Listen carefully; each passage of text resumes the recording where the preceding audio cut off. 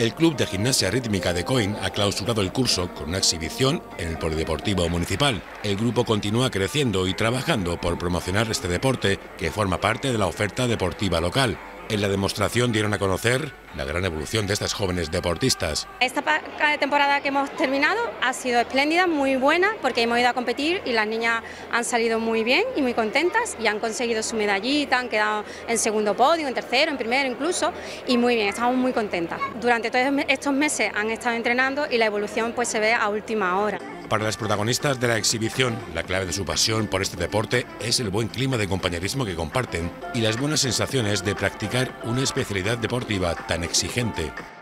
Yo estoy en la gimnasia rítmica porque mm, lo vi un día por la tele y porque me gustó y llevo mm, desde los siete años. Haciéndolo mucho, eh, intentándolo, se puede hacer, lo haces.